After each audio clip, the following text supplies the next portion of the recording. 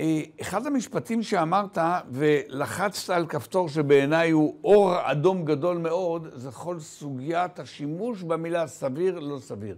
אני הרבה מאוד שנים לאחור שואל את עצמי, כל פעם שאני שומע סביר, סביר לפי איזה קריטריון, לפי איזה מונחים, לפי איזה חוקים. איך קובעים סביר ולא סביר? עושים משאל דעת קהל? תראה, יש, יש מבחן ערמומי, יש מבחן ערמומי שבג"ץ קבע אותו בהנהגת אה, פרופסור ברק. וזהו המבחן, שהוא ממש ערמומי, בלשון המעטה. הוא אומר ככה, אנחנו לא שמים את הסבירות שלנו במקום הסבירות של פלוני שהחליט החלטה שהיא עכשיו אה, עומדת לעינינו אם לקיים אותה או לא. לא, לא.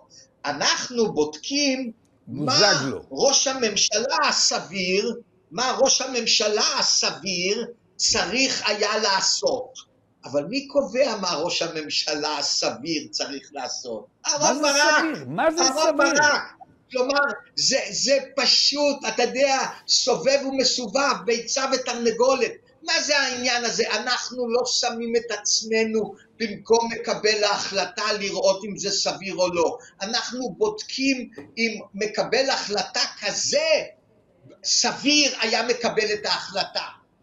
מה זה הדבר הזה? אבל מי קובע? מי קובע מה מקבל ההחלטה הסביר צריך לקבל בסבירות? אהרן ברק. וככה הוא השתלט על המערכת הפוליטית. ככה הוא השתלט על המערכת הפוליטית. ככה נולדה. זה אחד מארבעת אבני היסוד של הדיקטטורה של בג"ץ. ידידי עורך הדין יורם שפטל, בטור שלך נקרא לזה, או בפינה, או לא משנה מה, שפטל סוגר חשבון. שוב סגרת שורה של חשבונות שנשארו פתוחים עד הנה, ואני מודה לך מאוד על זה שאתה איתנו.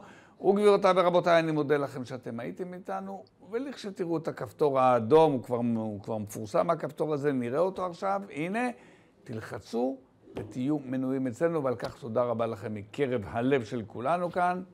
תודה רבה, ביי ביי, להתראות. thank you